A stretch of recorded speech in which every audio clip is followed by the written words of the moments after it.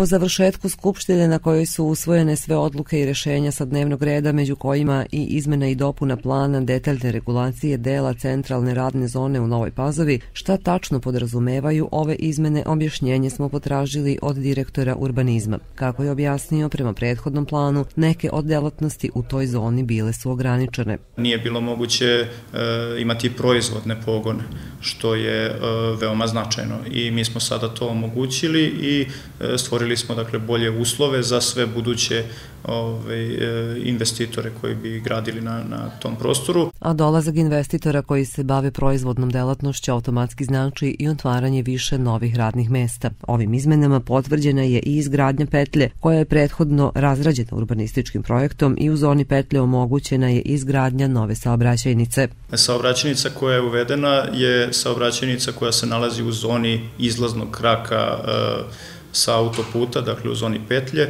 i e, tu je samo, e, tom saobraćenicom je omogućeno da se priđe parcelama koje su u privatnom vlasništvu uz samu petlju. Odbornici Skupštine opštine Stara Pazova usvojili su na 24. sednici i izmene i dopune odluke o osnivanju holističkog rehabilitacionog centra koje proističu iz zakona o socijalnoj zaštiti, kojim je propisano da jedinica lokalne samouprave obezbeđuje u budžetu sredstva za delatnost i unapređenje u ovoj oblasti. Odlukom Skupštine ulica Branka Radičevića u Novim Banovcima promenit će ime u ulica Petra Kočića i to kao nastavak postojeće istoimene ulice. Zeleno svetlo dobila su i rešenja o utuđenju nepokretnosti iz javne svojine opštine Stara Pazova i o razrešenju i imenovanju novih članova u pojedinim školskim odborima i nadzornim odborima nekoliko javnih preduzeća uz primetbu odbornika Vladimira Antonijevića da nisu dostavljena obrazloženja o stručnosti predloženih lica za članove nadzornih odbora.